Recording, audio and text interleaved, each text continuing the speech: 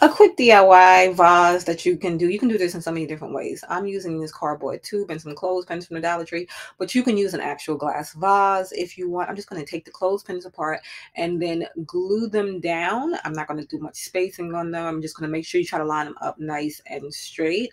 You can do this all the way up I just did mine on the bottom and on the top because I wanted it to have like a, you know, certain look. And then I'm going to add something else to the middle. But like I said, you can go all the way. You can add different things, different textures. You can leave the middle as is.